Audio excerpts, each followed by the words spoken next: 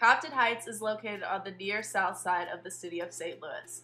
The neighborhood is bounded by Nebraska on the east, Shenandoah on the south, Grand Boulevard on the west, and I 44 on the north. From Parkway South on Hanna Road, you will turn left on Big Bend, right on 141,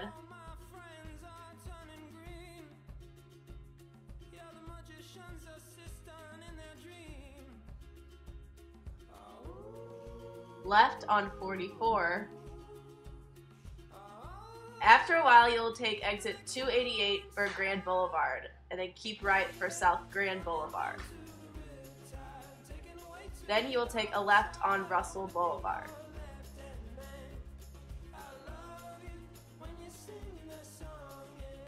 And finally, you arrive in the neighborhood of Compton Heights. Compton Heights was founded in 1888. In the 1760s, east of the Prairie des Noyers, present site of the Missouri Botanical Gardens, was another large tract of land known as St. Louis Commons. This tract was owned by all the villagers in common for the purposes of cutting firewood and pasturing livestock. It was never intended to be sold since it was held in common. Its boundaries were not fixed because its area expanded as the population of St. Louis grew. Compton Heights occupies the northwest corner of what was previously the St. Louis Commons. Its initial land partition was received in the 1850s. This prairie first belonged to the prominent St. Louisans James S. Thomas, George Barnett, and Henry Shaw. In 1855, the city limits were expanded to include this area, just southwest of downtown. The Compton Reservoir was completed in 1871 as the city's population continued to expand. Compton Hill Reservoir Park is a 36 acre public park located in Compton Heights. It is located on one of the highest elevations within the city. The park surrounds a 28 million gallon reservoir, which is used to provide water for many of the city's residents. James P. Kirkwood selected the site of the reservoir one of the highest elevations within the 1855 city limits. As the reservoir occupied only 18 acres of the site, Kirkwood suggested the remaining land be turned into a park. The water tower was retired in 1929 after 30 years when the Howard Bend plant was put in service. The static head from the Stacy Park Reservoir and what is now in the St. Louis suburb of Olivette, Missouri, caused an overflow of pure chemically treated water into the sewer system. The reservoir and water tower were renovated in 1999 at a cost of $19 million. In 1969, Interstate 44 was constructed through the northern edge of the park, reducing the area of the park to its present size. The Compton Hill Water Tower, built in 1898, is the youngest of three remaining standpipe water towers in St. Louis. In 1901, more than 423 standpipe style water towers exist- existed in the United States. And as of 2008, only seven remain standing, three of which are located in St. Louis. The 179 foot tower was built to disguise a 6 foot diameter, 130 foot tall standpipe in its interior.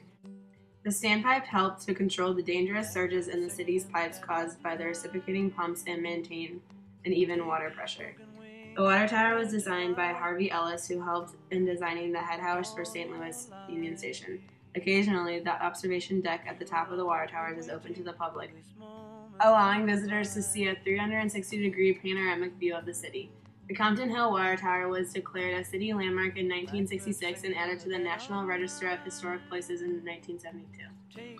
A controversial statue called the Naked Truth was unveiled in the park in 1914 as a memorial to Preetorius Schwartz and Daenzer, who were German American newspapermen. It was a gift to St. Louis by the German American Alliance, executed by sculptor William Van Schneider, and was considered to be quite daring for its day. The statue was relocated when Interstate Highway 44 was built through the north portion of the park. Compton Heights is one of the earliest examples of planned residential developments of the American 19th century. The original Compton Hill Improvement Company was formed quietly in 1888 with a $400,000 investment, about 10 million in today's terms.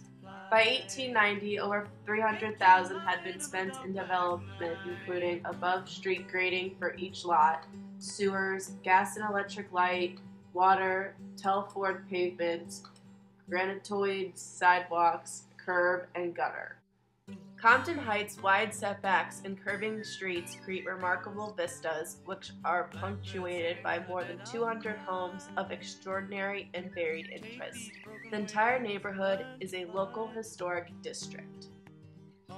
The neighborhood is also proud of its cheerful diversity and the range of talented people who have chosen to live in Compton Heights. Recorded in 2010, more than 1,300 residents now live in Compton Heights. The Magic Chef Mansion is one of St. Louis's premier Old World estates. Constructed in 1908 by Ernst Janssen, the Magic Chef Mansion was built for Charles Stockstrom at a cost of $49,500. In 1935, Stockstrom died at age 83. His daughter continued to live in the mansion until her death in 1990. All of the original furnishings and fixtures were sold at a week long public auction before the house's sale in 1990 to its current owner. Over the next 20 years, some of the original items were tracked down, repurchased, and returned to the house. The home has almost been fully restored to its original condition.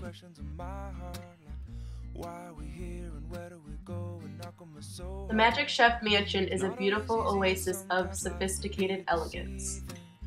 There's also a cake in Reservoir Park, Compton Heights is a vibrant St. Louis neighborhood with a diverse community, stunning architecture, and is very rich in history.